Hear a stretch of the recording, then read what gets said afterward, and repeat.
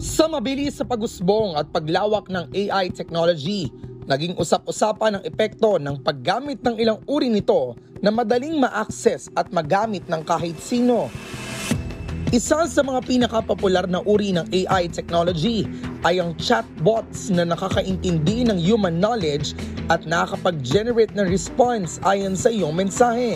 Maaari itong magamit sa paggawa ng content tulad ng video, images, or written text.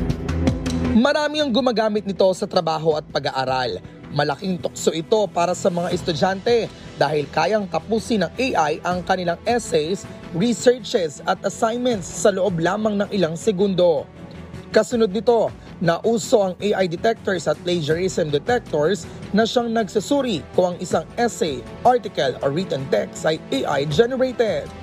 Pero alam niyo ba na may mga umuusbong na rin na sites na pwedeng gamitin para ma-bypass ang mga ito?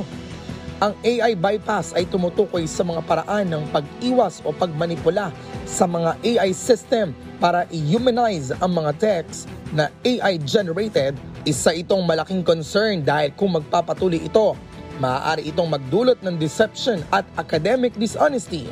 Alamin kung paano nakaapekto ang AI bypass sa ating buhay, lalo na sa kalidad ng edukasyon, at ang mga hakbang na maaaring gawin upang labanan ang pandaraya sa akademya.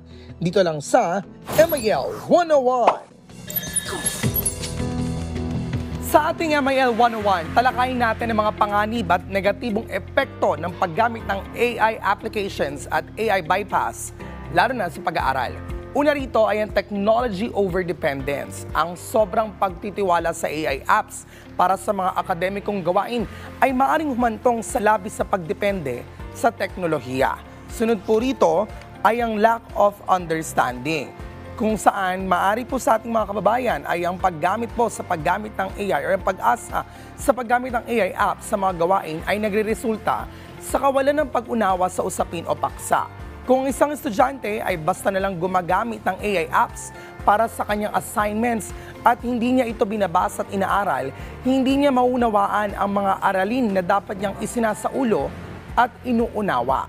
Ito rin po ay maaring makasagabal doon sa pag-unlad ng critical thinking at problem-solving skills. Marami po kasi ngayon sa mga kabataan ay uh, mas, gusto po nila na maging mabilis yung access dito kung saan hindi na po nila naiisip kung ano ba yung dapat na pag-aralan at kung ano ang implication nito sa kanilang pagkatuto. Pangatlo po ay yung tinatawag nating academic dishonesty. Napakarami po ng gatong klaseng mga pangyayari, nangyayari sa iba't ibang mga universidad, kolehiyo, mga paaralan.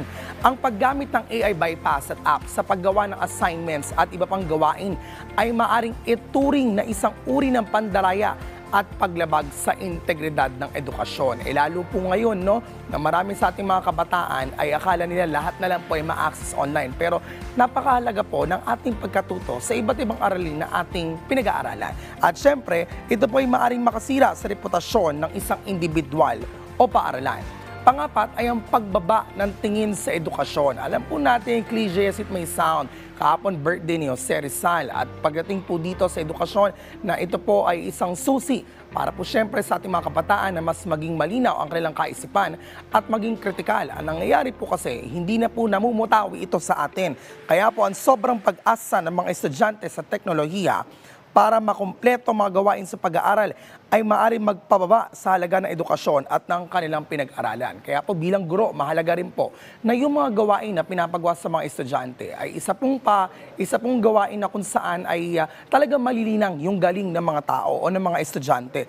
Maring ito rin po ay magresulta sa kakulangan ng motibasyon at maging doon sa interes sa pag-aaral. Eh, napaka kita, uh, nakikita po natin ngayon marami sa ating mga estudyante rin po no, na talagang uh, minsan sa sake nila ng pagkasama ng mga kaibigan, okay lang po yun, walang problema doon. Pero kailangan din po natin isipin yung other side kung bakit po dapat tayong mag-aral. Ito po ay para sa ating kinabukasan.